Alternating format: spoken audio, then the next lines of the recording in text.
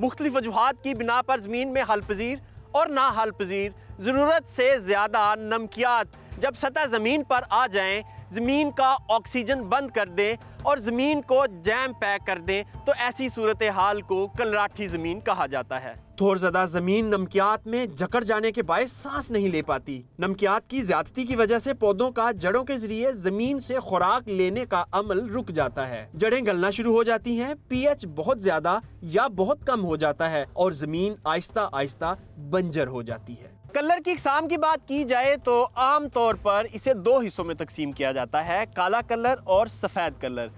सफ़ेद कलर की पहचान और खसूसियात में ये चीज़ सर फहरिस्त है कि सतह ज़मीन के ऊपर सफ़ेद रंग का पाउडर नमदार होना शुरू हो जाता है।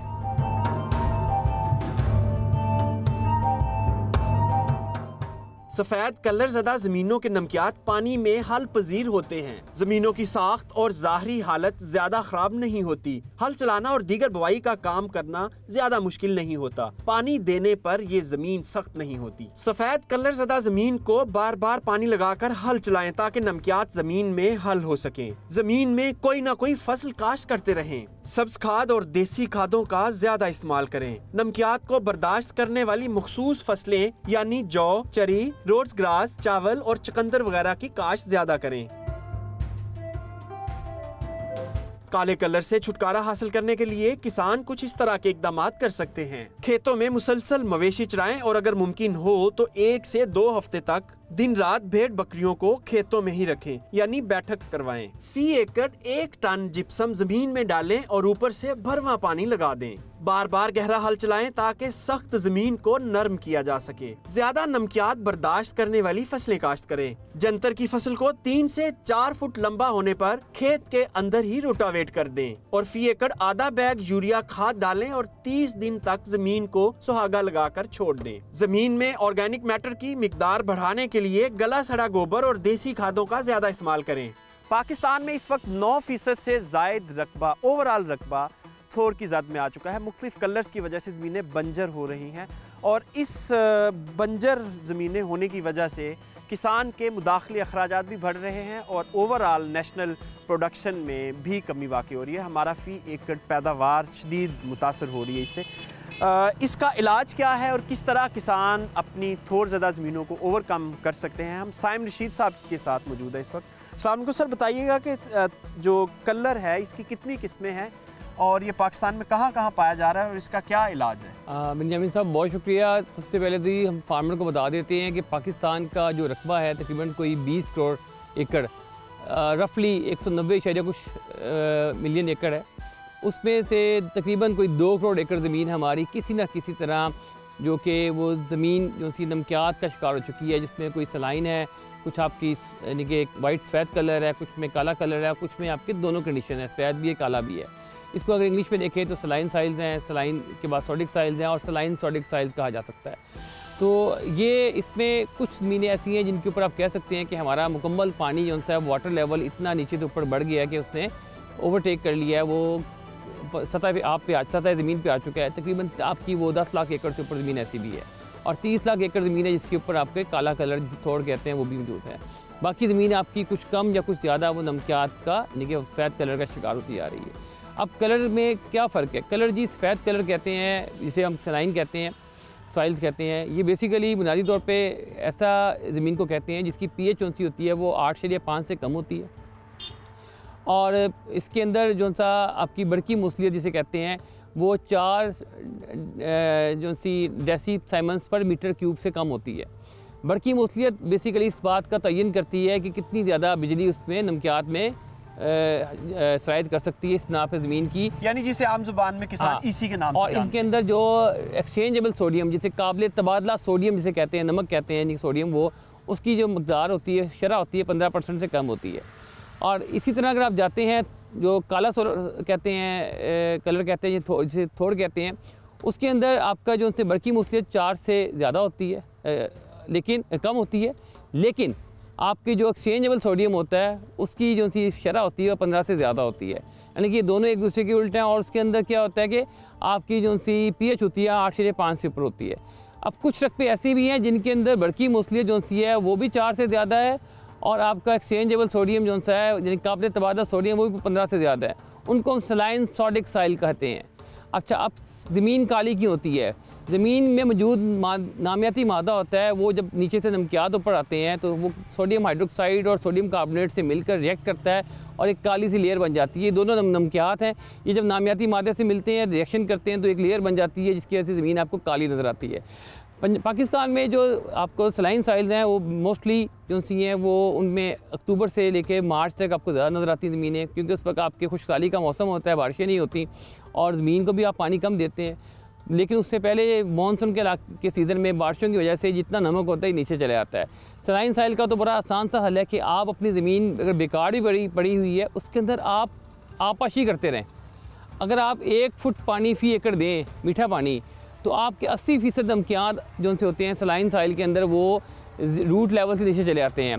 अगर आप एक एक फुट करके तीन मरतबा पानी दे दें तो फ़सल की बिजाई से पहले तो ये पचानवे फ़ीसद नमकियात उस पानी में हल होकर जेर ज़मीन चले आते हैं रूट जोन से नीचे चले आते हैं और आप उसमें फ़सल काश कर सकते हैं। इसकी मिसाल हमारे सामने धान है। धान की फ़सल में आप जब लगाते हैं कलर वाली ज़मीन पर तो पानी की वजह से धान भी ग्रो कर जाता है, उसके बाद उस फ़सल में आप आराम से गंदम भी लगा लेते हैं, बरसीम भी लगा लेते हैं। लेकिन अगर आप उसको धान अगले साल ना लगाएँ और गंदम के बाद उसको पानी ज़्यादा मत दें और उसमें ऐसी फ़सल लगाते रहें जिसको पानी की ज़्यादा ज़रूरत नहीं है तो वो नमक ऊपर आ जाएगा और उसके बाद उस ज़मीन के अंदर आपको वाटर द्वारा ट्रीट करना पड़ेगा। तो इसका एक तो ये तरीकाकार है। और इनमें जो सी आपके सलाइंस भी हैं, इनके अंदर आप इस्तेमाल करें ammonium sulphate single super phosphate आप यूरिया फास्फेट नाइट्रोफॉस तेज़ाबी खाद इस्तेमाल करें। तेज़ाबी खाद सल्फ़र बेंटोनेट का इस्तेमाल करें।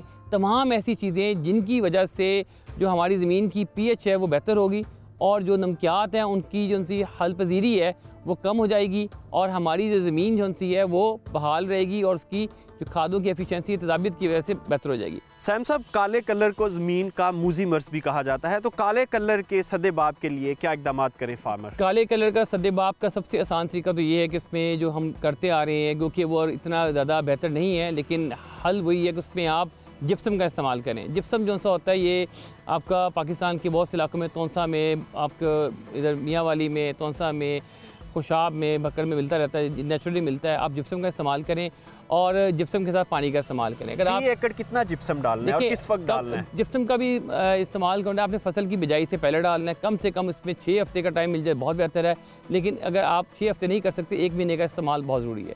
आप जिप्सम ऐसे डालें कि अगर आप एक टन जिप्सम पाउडर इस्तेमाल करते हैं तो उसके साथ आप कम से कम उसको एक फुट एकड़ फुट पानी दें। फिर ही वो जिप्सम हल होकर ज़मीन को फ़ायदा पहुँचाएगा बहाली की तरफ़ लेके आएगा। अब मॉडर्न तरीके आ चुके हैं मॉडर्न तरीके में बहुत से दूसरे केमिकल भी आ चुके हैं, जैसे कैल्शियम क्लोराइड हो गया। कैल्शियम क्लोराइड को अगर आप पानी के उसके बंदे ऊँचे कर लें खेत के, और उसके अंदर आप एक फुट पानी खड़ा करके उसमें कैल्शियम क्लोराइड के चार बैग सौ किलोग्राम कैल्शियम क्लोराइड डाल दें तो ये कैल्शियम क्लोराइड जो होता है, ये पानी में मौजूद जो एक्सचेंजेबल सोडियम है, उससे रिएक्ट करके उसको सोडियम क्लोराइड बना देगा वो लीच टर्न हो जाएगा, और आपकी ज़मीन सी है, बारह से अठारह इंच का जो सा ज़मीन का हिस्सा जब पानी खुश्क होगा, वो इससे कलर से साफ़ हो जाएगा। ये इसका तरीकाकार है। तीसरा तरीकाकार ये है कि इसमें आप जो से नाम ऑर्गेनिक मैटर का, उसका इजाफा करें। ऑर्गेनिक मैटर का इजाफा करते हैं ज़मीन के अंदर। और अपनी ज़मीन के अंदर आप आपाशी लगातार करें, मीठे सोर्स की, मीठे पानी की आपाशी लगातार करते रहें। ये इसमें तरीक़ेकार हैं। एलिमेंटल सल्फ़र का इस्तेमाल करें।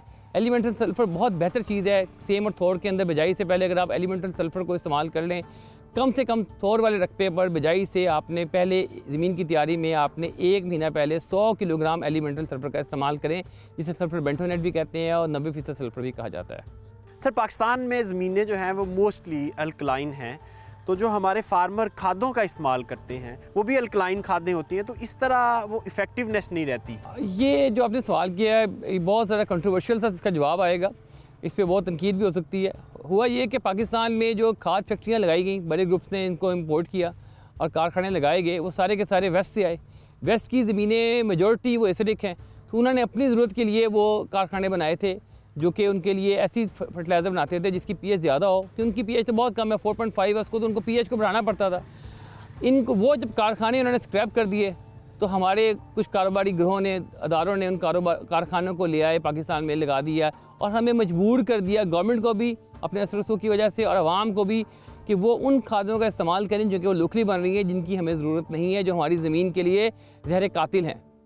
तो क्या हल है इसका? इस तरह अगर हर कोई खामोश बैठा रहेगा तो हमारी तो ज़मीनें बंजर हो जाएँगी। इसका हल यही है कि आप कोर्ट से रजू करें गवर्नमेंट पे मीडिया की कैंपेन चलाई जाए कोर्ट से रजू किया जाए और कोर्ट इन बात को सू केसेस किए जाएँ जिस तरह पूरे वेस्ट में होते हैं कि इन कारखानों के प्रोडक्ट की वजह से एक फार्मर तो अनपढ़ है। फार्मर तो अगर पढ़ा लिखा भी हो तो उसको नहीं पता ना कि केमिकल कंपोजिशन क्या चीज़ है क्या असरात आते हैं, पचास साल में क्या आएँगे।